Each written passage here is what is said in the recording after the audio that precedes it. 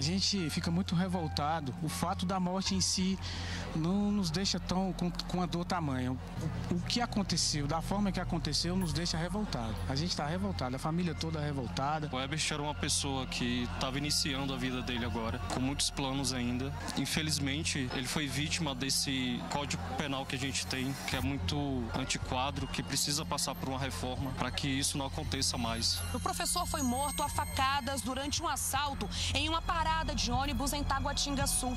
O criminoso tinha várias passagens pela polícia e estava cumprindo prisão domiciliar. Sentimento de tristeza e de muita revolta. É inaceitável a gente ter que estar tá passando por uma situação dessa, né? Um profissional da educação é a pessoa que tem a responsabilidade social. A vida dele foi retirada pelo tipo de pessoa que ele acreditava poder ajudar. A nossa análise sobre a audiência de custódia são os impactos dela na própria segurança pública. Na visão da segurança pública, esse é um procedimento que precisa ser revisto, os modos com que ocorre. A grande maioria dos criminosos hoje presos pela Polícia Militar, pela Polícia Civil, são reincidentes. Então, acho que isso precisa ser revisto de uma forma geral, de uma forma global para o país inteiro. E no DF são muito claras as consequências disso.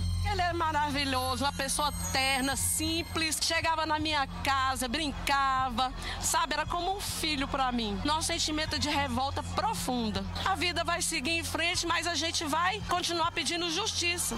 É muito triste, né, saber que perdemos um grande professor, né, e perdemos quase só de um celular, né. Na parada onde o professor foi esfaqueado, várias pessoas fizeram homenagens. A gente pode ver aqui, ó, flores, colocaram flores no lugar onde ele sofreu, né, o atentado e também vários recadinhos de conforto, né? Tanto à família e amigos e também pedindo paz e justiça. A gente não pode aceitar o que está acontecendo. A gente não pode ficar enterrando nossos entes queridos com uma violência dessa. Ou a gente faz alguma coisa agora ou eles tomam conta da nossa cidade.